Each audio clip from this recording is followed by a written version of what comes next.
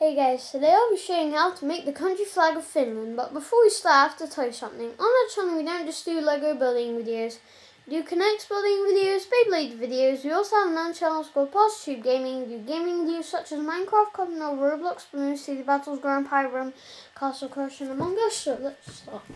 First thing we need to do, this, do this, this here, this here, this is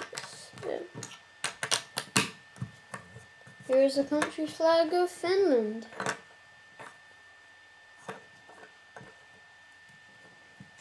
So I hope you guys like it. Subscribe to see my videos. Bye guys.